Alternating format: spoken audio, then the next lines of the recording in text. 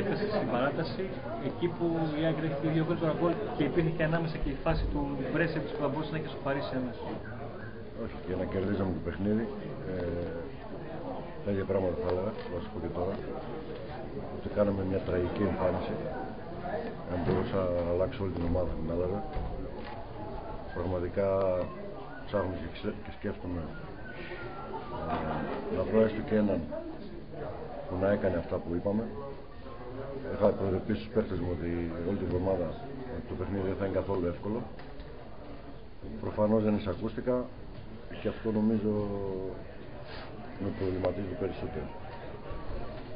Ε, θα δώσω συγχαρητήρια στον αντίπολο γιατί έπαιξε τα ίσια, κέρδισε τα ίσια. Εγώ το μόνο που αισθάνομαι και νομίζω ότι αντιπροσωπεύω έναν πολύ μεγάλο μέρος του κόσμου είναι η τροπή για το σημερινό αποτέλεσμα. Ε, πιστεύω ότι το ίδιο αισθάνονται και οι παίχτες. Μπορεί τα λόγια που λέω να είναι σκληρά, αλλά όταν ε, βρίσκεσαι στην ΑΕΚ πρέπει να αντιμετωπίζεις τέτοιες καταστάσεις και τη σκληρότητα αυτών με τον ανάλογο τρόπο. Όποιος θέλει να μείνει σε αυτή την ομάδα θα πρέπει να αντιλαμβάνεται τη φανέλα που φοράει. Προφανώς κάποιοι παίχτες δεν έχουν καταλάβει ακόμα αυτό.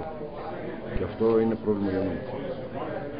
Coach, υπάρχει περίπτωση να υπάρξουν καθαρίσεις τώρα, το Γενάρη; Δεν θα μιλήσω περαιτέρω.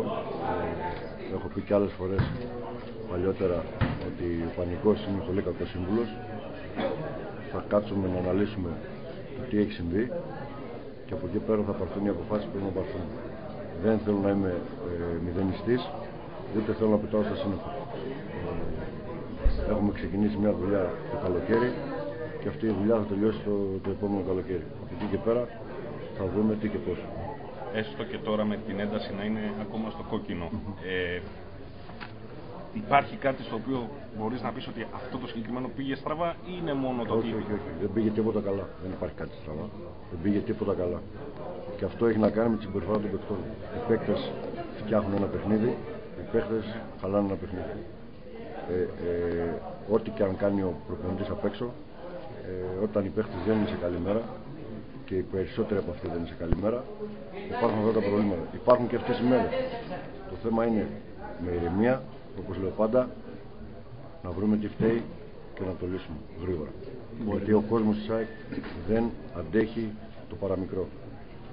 Δύο λόγια κύριε Βέλα για τον κόσμο της ΑΕΚ Καλά, δεν, δεν έχω λόγια να πω. Το έχω πει χίλιες φορές και έχω πει και άλλη φορά ότι τα λόγια είναι πολύ λίγα για να εκφραστώ για, για τον κόσμο της ΑΕΚ. Ε, Όπως είπα και άλλη φορά, η υπομονή είναι μια λέξη που την έχει ακούσει, αλλά το μόνο που μπορούμε να κάνουμε είναι αυτό αυτή τη στιγμή. Ε, Πολλές αλλαγές δεν μπορούν να γίνουν αυτή τη στιγμή. Θα δουλέψουμε περισσότερο σε περισσότερα πράγματα μήπως μπορέσουμε και αλλάξουμε την εικόνα μας που για μένα είναι το, το, πιο, το πιο σημαντικό. Και η εικόνα λέγοντας μέσα στο μυαλό των παιχτών. Μπορεί να αποτελέσει φάρμακο αυτή η εμφάνιση για τη συνέχεια; Ή την επιτεύξη του στόχου. Πάντα και από αρνητικές εμφανίσεις ή από αρνητικά αποτελέσματα ή από καλά αποτελέσματα πρέπει να παίρνεις ε, μαθήματα και αυτά τα μαθήματα να σου γίνονται και, και βίωμα για το, για το υπόλοιπο.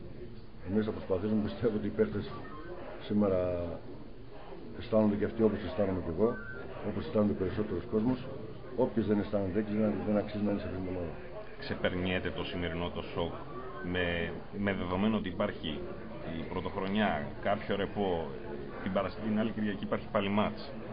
Υπάρχει πολύ μικρός χρόνος. Κοιτάξτε, αν θυμάστε καλά εσείς που είστε στο ρεπορτάζ ΣΑΚ και μετά από νίκες έχω πει το ίδιο πράγμα και δεν θα αλλάξω σε αυτό που, που λέω πάντα. Εμείς συνεχίζουμε και έχουμε ένα σκοπό να βάλουμε την ομάδα την κατηγορία. Το κύπελο ήταν ένας στόχος, αλλά δεν θα μας έδινε και τίποτα. Το μεγαλύτερο για μένα στόχος είναι το πρωτάθλημα για να βγούμε γρήγορα την κατηγορία. Ευχαριστούμε πολύ.